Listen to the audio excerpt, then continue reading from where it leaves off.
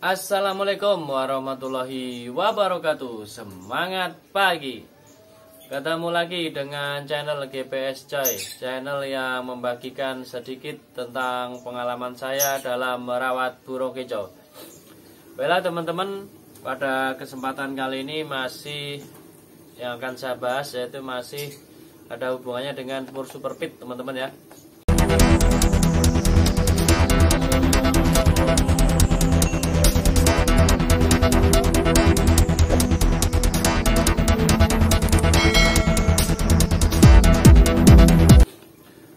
Uh, kemarin ada pertanyaan dari teman-teman itu uh, murai batu uh, sudah makan pur super pit tapi kok ngembung bulu ya gitu ya? Ngembang bulu ya gitu. terus sudah diembun tambah parah. Nah solusinya bagaimana? Nah begini teman-teman ya. Jadi murai batu teman-teman itu harus dipastikan sudah kondisi memakan pur super pit. Kondisi di sini yaitu bukan seminggu atau dua minggu ya. Tapi paling enggak minimal itu sebulan. Sebulan itu udah makan ya kan? Terus eh, takaran apa untuk jangkriknya sudah ketemu ya. Terus pola mandinya sudah ketemu. Nah itu bisa dikatakan kondisi. Kenapa harus seperti itu?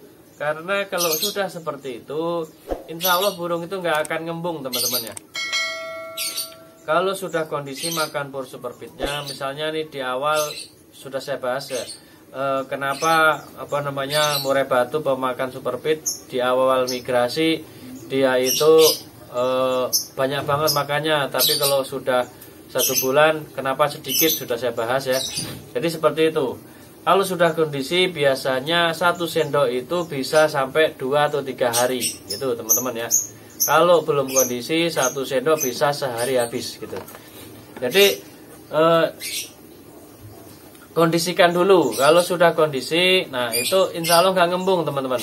Jadi kalau ternyata sebulan masih seperti itu, berarti teman-teman itu mandinya belum ketemu, jangkriknya belum ketemu, gitu ya. Jadi untuk pemberian jangkrik pun juga harus dimulai dari tiga tiga ekor pagi, tiga ekor sore. Itu untuk yang aman ya. Kalau sudah ketemu, udah enak dalam sebulan, udah kondisi. Nah, kalau kurang gacor bisa dinaikkan jangkriknya, gitu teman-teman ya. Nah, kalau kondisi seperti tadi masih gembung, nah apa solusinya? Solusinya yaitu yang pertama dijemur, ya.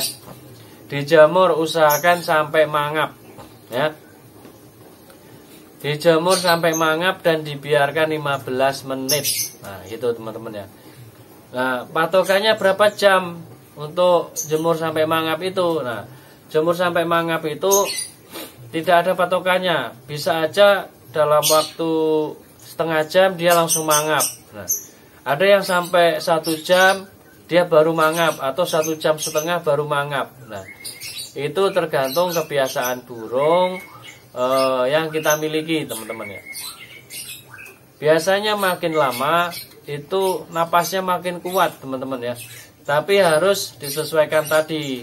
Ya nggak mungkin uh, apa namanya baru dijemur langsung sejam kuat. Nggak mungkin ya. Biasanya bertahap mulai dari 15 menit uh, mangap ya kan? Terus besok lagi kalau rutin 30 menit baru mangap gitu. Bertahap dia biasanya gitu teman-teman ya. Dan ini teman-teman juga harus memahami gitu kan. Ketika sudah mangap biarkan 15 menit ya untuk eh, apa namanya membiasakan diri dia untuk kuat ya menahan apa namanya eh, sinar matahari. Ya. jadi jangan ketika pas baru mangap langsung dipinggirkan jangan. Biarkan 15 menit dulu baru diangin-anginkan. Itu yang pertama ya teman-teman solusi pertama yaitu dijemur.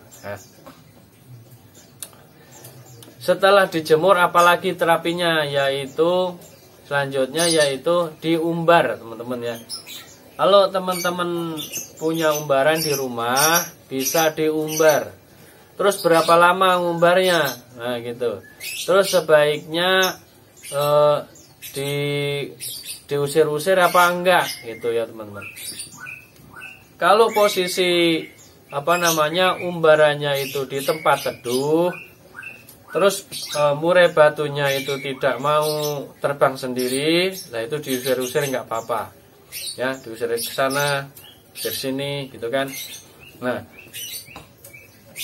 Terus e, berapa kali PP sebaiknya kalau untuk mengatasi gembung seperti itu? Ya bertahap juga teman-teman ya. Kalau baru diumbar jangan langsung 50 PP, jangan ya.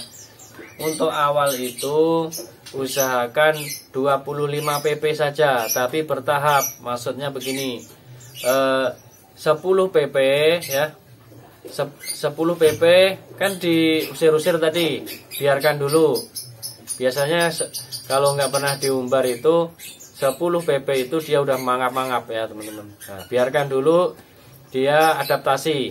Nah, setelah dia nggak mangap lagi diusir-usir lagi. Nah 10 pp ya 10 pp itu terus. Nah terus sampai 10 pp baru dibiarkan dulu. Nah setelah 10 pp lagi dibiarkan lagi sampai dia nggak mangap. Nah baru yang terakhir 5 pp. Nah diusir-usir lagi. Nah seperti itu ya. Itu tahapan untuk umbar. Jadi jangan langsung banyak teman-teman. Nanti bisa stres, tambah sakit nanti teman-teman ya. Jadi setelah terapi tersebut diumbar atau dijemur itu kan eh, apa namanya dia capek ya? Nah itu kita kasih bonus dua jangkrik gitu ya. Setelah selesai diangin-anginkan Selang 5 atau 10 menit dikasih jangkrik baru dikerodong. Gitu teman-teman ya. Itu untuk terapinya supaya dia nggak ngembung lagi. Nah sekarang e, pertanyaan lagi.